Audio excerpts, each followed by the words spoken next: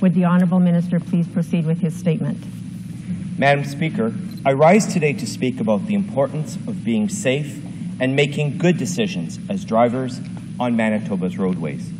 This has been a tragic year on Manitoba's roads, with 105 people losing their lives as of today. I've stood at a podium countless times this fall in front of many different audiences to talk about how many people have died as a result of someone making a bad decision behind the wheel. The importance of making good driving decisions cannot be understated. Many times people choose not to wear a seatbelt, decide to check their phones, have just one more drink and get behind the wheel, or, go, or go beyond the speed limit to get to their destination just a little faster. These decisions can have deadly consequences for the driver making those decisions and for other travelers on the roadway. Today, the RCMP have launched their Holiday Check Stop program, a program that helps to keep our roads safe during the Christmas and New Year season. This program also serves as a reminder to make good choices before you get behind the wheel. The interaction between RCMP members and Manitobans make a difference can often influence future decisions by drivers. We thank our police force members across the province for their dedication to keeping Manitobans safe. In the month of November alone, seven Manitobans have lost their lives on the roadways. The RCMP report the following statistics regarding Manitoba's 2016 fatal crashes.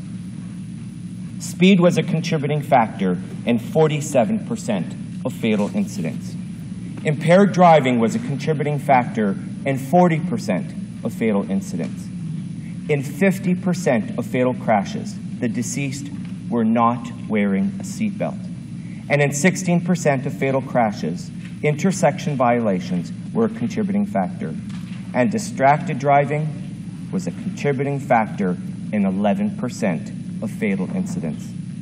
These statistics serve as a somber reminder that the choices we make as drivers impact the lives of others. This holiday season, we would like to remind Manitoba's motorists to be vigilant in their driving decisions. Remember, your choices and actions on the road impact not only yourself, but others as well.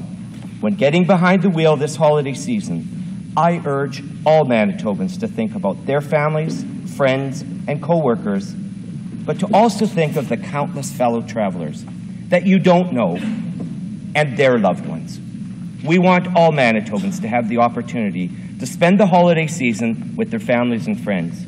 We don't want the reason someone does not make it home for Christmas to be the result of someone else's poor choice behind the wheel.